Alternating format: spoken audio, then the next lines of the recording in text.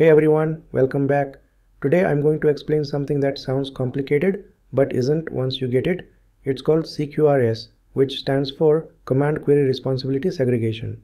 By the end of this video, you will understand what CQRS is, when to use it, and why it's so helpful, even if you're just starting out as a developer. Let's get into it. Imagine you're building an online store, something like Amazon. Now your app needs to do two things. First, it needs to change data, like when a customer adds a product to the cart or places an order. Uh, second, it needs to read data, like when someone wants to see what's in their cart or check their past orders. Most apps try to do both using the same code and the same database. That works at first, but over time, it becomes messy. You are mixing read logic and write logic in the same place. Reads are supposed to be fast and simple. Writes are usually more complex. They need validation, business rules, maybe even transactions. This mix makes the code harder to understand and harder to scale. That's where CQRS comes in. Well, what is CQRS? CQRS is a simple idea. It says, let's separate the part of our system that writes data from the part that reads data. So we have one side called the command side that handles all the changes like placing orders, adding items to the cart, or updating stock.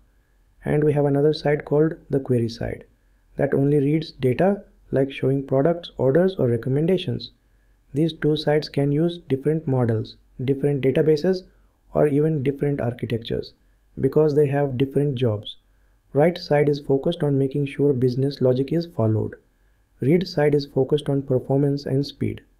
Let's understand with real e-commerce example. Let's say a customer clicks add to cart. That triggers a command. The backend gets that command, checks if the product is in stock, then saves the cart item to the database. That's the write side. It handles changing the data. Now later the customer goes to view their cart. That's a query. The system looks up all the items in the cart and sends that list back to the user quickly and efficiently, that's the read side. It only reads, it doesn't change anything. With CQRS, we keep these two parts separate so our code is cleaner and our system is easier to scale. Next, why is CQRS pattern useful? First, it improves performance. The read side can be super fast. Maybe it even uses a separate read-only database or a cache. It doesn't deal with heavy logic. It just fetches data and sends it back. Second, it improves flexibility. You can scale the read side differently from the write side. Maybe your reads are 100 times more frequent than writes. Now you don't need to scale everything, just the part that needs it. Third, it improves code clarity. When you look at your write logic, it's focused only on rules and validation. When you look at your read logic, it's focused only on queries and formatting. Now, should you use CQRS for every project? Probably not. If your app is small, a single database with simple reads and writes is fine.